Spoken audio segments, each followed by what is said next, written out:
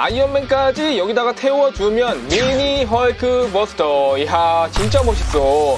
개인적으로 이 글래디에이터 로봇 완전 내 취향. 자쿠는 만화랑 진짜 똑같네. 프라모델보다 더 비슷해.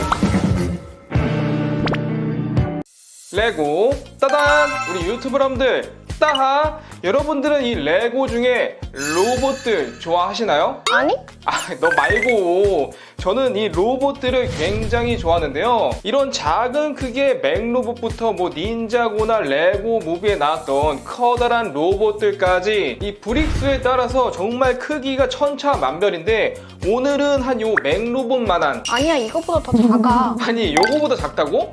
그러면 요 정도? 아니 더 더. 이거보다 더? 그러면 진짜 한 이 정도? 어 그 정도.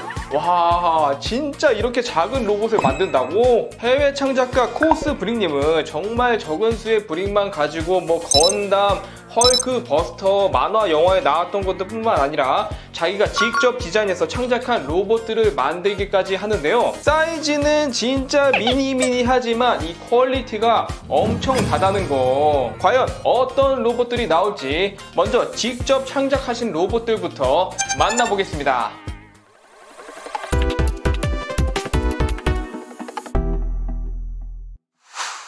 첫 번째 미니 로봇입니다. 일단 brick이 진짜 몇 개 안 들어간다. 양쪽에 이제 팔도 붙여주고 뒤에 jetpack까지 장착시켜 줍니다. 오 나름 또 디테일해. 여기서 머리를 내려주면 완성이지만 이 로봇은 뒤에 멋진 날개가 있는 로봇이기 때문에 투명한 스탠드도 하나 만들어 가지고 로봇에다가 껴주면은 하늘에 떠 있는 연출까지 가능하다. 오 옆에 파란색 버전도 있네. 방금 보신 게 비행 타입 로봇이었다면 이번엔 육전형 로봇인데요. 날렵한 느낌의 비행형과는 달리 좀 더 단단한 느낌을 주고 이 손에다가 총까지 껴주면은 이렇게 세 가지 컬러의 기본적인 미니 로봇들이 완성되었습니다.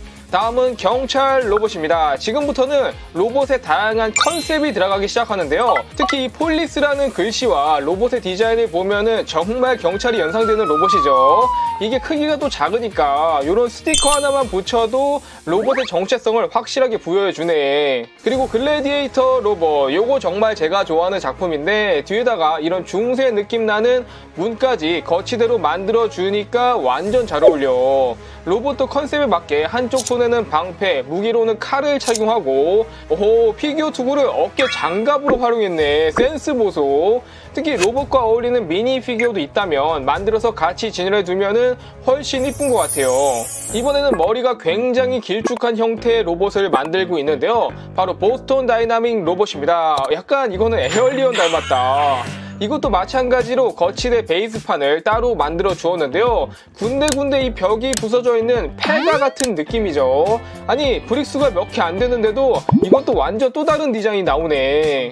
다음은 하드 슈트입니다. 앞에 보셨던 로봇들과는 다르게 아이언맨처럼 미니 피규어가 착용하는 슈트의 형태인데요. 미니 피규어 몸통에다가 로봇 다리와 무기를 들어 주어서 미피 스케일의 로봇까지 만들어 볼 수 있다는 거. 참고로 이 hard suit를 기반으로 좀 더 변형한 형태인 hard suit 버전 2도 있습니다. 확실히 아까는 그냥 기본 형태라면은 이거는 위에 미사일 대포도 생기고 좀 더 공격력이 높아진 모습이랄까? 지금까지는 이 코스 브링님께서 직접 디자인하고 만든 로봇들이었다면은 이번에는 뭐 헐크 버스터, 건담, 옵티머스 프라임 등 만화나 영화에서 나왔던 로봇들을 아주 작게 미니 버전으로 만드셨다고 합니다. 먼저 최초의 건담 연방군의 퍼스트 건담입니다. 일단 지금 이 무기만 봐도 아까 봤던 로봇들보다는 사이즈가 훨씬 큰 것 같고요. 어, 건담이 들고 다니는 방패까지 있어. 완전 디테일한데 그 방패에 있는 노란색 연방군 마크를 또 이런 식으로 표현해줬네.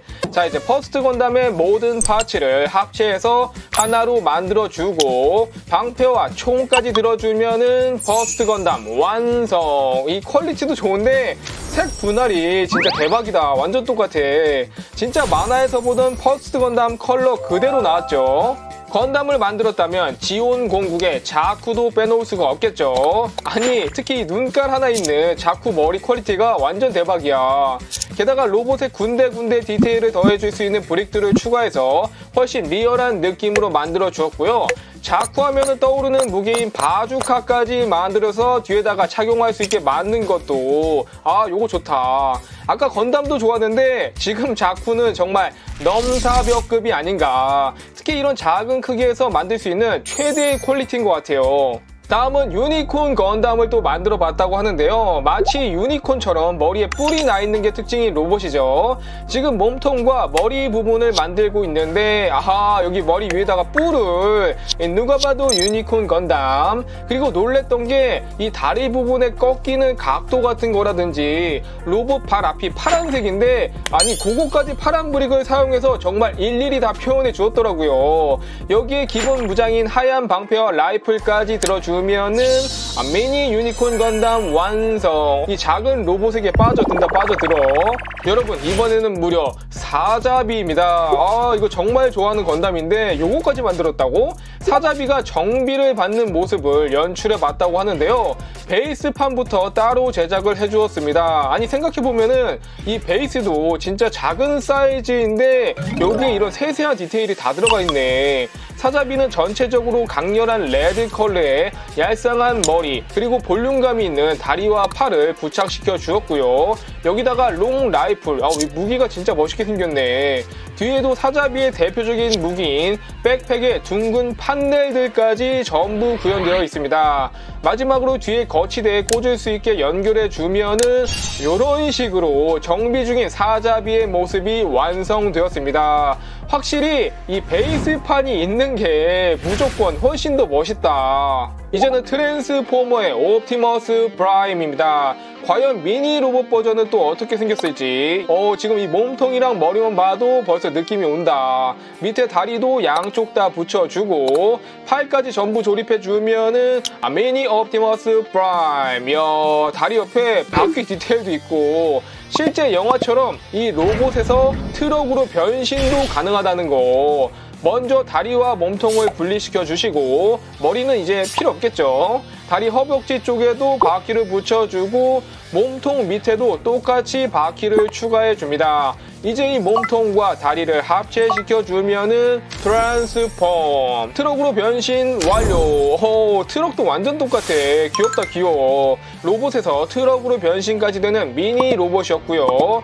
드디어 나왔고만 아이언맨 buildable 피규어로 나왔던 이 아이언맨 제품의 미니 버전 같은 느낌인데요 레고로 요 정도 크기의 아이언맨이 나온 적은 없었죠. 미니 피규어 있는 헤드를 빼가지고 마지막 머리까지 꽂아주면은 이렇게 완성인데요 플러스 여기다가 아이언맨이 빔을 쏘고 있는 이펙트 파츠까지 만들어서 양손에다가 딱 장착시켜 주면은 이런 모습이 됩니다 오호 요거 대박이야 아이언맨도 이 포징이 굉장히 자연스러운데 거기에 이펙트 파츠까지 달아주니까 완전 생동감 넘치네. 이제 대망의 헐크 버스터. 진짜 이게 제일 기대된다. 물론 정식 레고 제품으로도 작게 나온 게 있지만 어, 그만 보도록 하죠.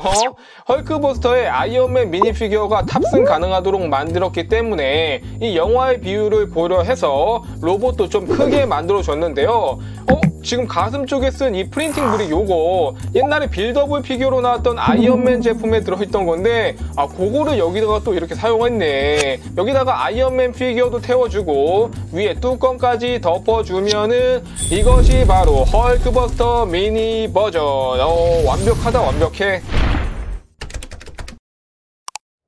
이외에도 코스브링님의 채널에 가시면 다양한 레고 미니 로봇들을 만나보실 수 있습니다. 여러분은 오늘 보신 로봇들 중 어떤 게 가장 마음에 드셨나요? 댓글로 남겨주시고 오늘 영상은 이것으로 마치겠습니다. 따바!